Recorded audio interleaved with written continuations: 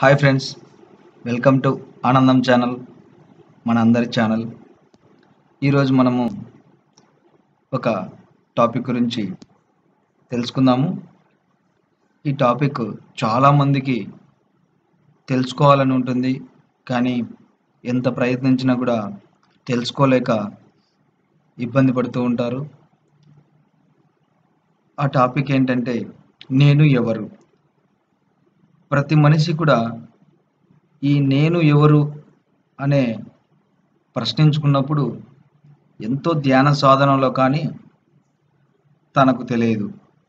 కానీ ఈ నేను ఎవరు అనేది మనకు తొలుత చూస్తే the great master Ramana Maharshi గారి దగ్గర నుంచి చాలామంది విని ఉంటారు. ఆయన దగ్గరికి ఎవరు వెళ్ళినా కూడా నీవెవరు తెలుసుకో అని అంటూ ఉంటారు. సో అలాగ చాలామంది ఆయన్ని అడుగుతూ ఉంటే ఒకరోజు ఆ నేను ఎవరి గురించి ఆయన వివరంగా చెప్పడం జరిగింది. సో ఈరోజు మన టాపిక్ నేను ఎవరు అనే విషయం గురించి తెలుసుకుందాం. ఓకే ఫ్రెండ్స్ ఈ విషయం తెలుసుకుపోయే ముందు మీరు ఒకసారి మా ఆనందం ఛానల్ని సబ్స్క్రైబ్ చేయండి. ఎందుకంటే ఇలాంటి ఎన్నో ఆసక్తికరమైన వీడియోలు మీరు మిస్ కాకుండా చూడవచ్చు. ఓకే ఇక విషయానికి వస్తే ప్రతిరోజులాగానే చాలామంది రమణ మహర్షి గారి ఆశ్రమానికి వచ్చి కూర్చొని నిశ్శబ్దంగా ముభావంగా ఉన్నారు. ఎందుకంటే గురువుగారు ప్రతిసారి ఈ నేను ఎవరు తెలుసుకోమని చెప్తూ ఉంటారు. చాలామంది తెలుసుకోలేక ఆలోచన చేస్తూ ఉంటారు. గురువు గారిని అడిగినా సమాధానం చెప్పలేకపోయారు. చెప్పేవారు కాదు. ఎందుకంటే మిమ్మల్ని మీరే తెలుసుకొని అని చెప్పేవారు.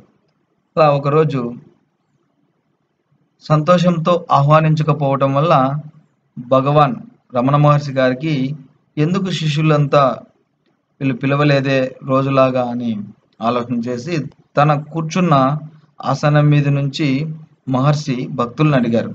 ఏమిటి విశేషం? అందరూ మౌనంగా ఉన్నారు. రోజులాగా సంతోషంగా లేరు అని అడిగారు. అప్పుడు అక్కడ ఉన్న వారందరూ స్వామి ప్రతి వాళ్ళు వచ్చి దేవుణ్ణి చూపించు దేవుణ్ణి చూపించు అని ఆర్తితో అడిగితే మీరు అసలు వాళ్ళ సందేహాన్ని పట్టించుకోకుండా నిన్ను నువ్వు తెలుసుకో నిన్ను నువ్వు తెలుసుకో నీవెవరో తెలుసుకో అని చెప్పి పంపించేస్తున్నారు. ఏదో తెలుసుకుందామని వచ్చిన వాళ్ళు ఇంకా అయోమయంలో పడి నిరాశతో వెళ్ళిపోతున్నారు. ఇదేం బాగులేదు స్వామి. ఇవాళ ఏమైనా సరే ఆ నేను అంటే ఏమిటో చెప్పి తీరాల్సిందే. లేకపోతే మేము భోజనం చేయము అని గట్టిగా చెప్పేశారు. వాళ్ళ అమాయకత్వం చూసి రమణ మహర్షి గారికి నవ్వొచ్చింది. ఇంకా వీళ్ళను సంశయంలో పెట్టడము ఆయనకు అంత సబబుగా అనిపించలేదు. అయితే ఒక ఉదాహరణ చెప్తా వినండి. ఒక జరిగిన సంఘటన ఈ నేను అంటే ఏమిటో మీకే తెలుస్తుంది అని వివరణ ఈ అక్కడ వాళ్ళందరూ సరే స్వామి చెప్పండి అన్నారు. ఆశ్రమవాసులు శిష్యులు దర్శనానికి వచ్చిన వాళ్ళందరూ శ్రద్ధగా వింటున్నారు. అప్పుడు మహర్షి గారు ఇలా చెప్పారు. ఒకరోజు ఆశ్రమానికి మద్రాసు నుంచి ఒక వ్యక్తి వచ్చాడు. కొత్తవాడిలా ఉండటం వల్ల ఎవరు మీరు ఎక్కడి నుంచి వచ్చారు ఏం చేస్తూ ఉంటారు అని నేను అడిగాను. దానికి సమాధానం చెప్పడానికి కొంచెం సంశయంలో పడ్డాడు ఆ మద్రాసు వ్యక్తి. ఎందుకో తెలియలేదు ఎక్కడ ఉంటారు? మళ్ళీ అడిగాను. జైల్లో ఉంటాను అన్నాడు. ఆహారం ఎక్కడ తీసుకుంటారు అని అడిగాను. జైల్లోనే అని సమాధానం ఇచ్చాడు మద్రాసు వ్యక్తి. మరి మీరు ఏం చేస్తుంటారు అని నేను అడిగాను. జైల్లో ఉన్న ఖైదీల్ని కాపలా ఉండే రక్షక భటుల్ని క్రమశిక్షణలో ఉండేటట్లు చేస్తాను అని నేను జైలర్ని అని సమాధానం ఇచ్చాడు ఆ మద్రాసు వ్యక్తి రమణ మహర్షి గారితో.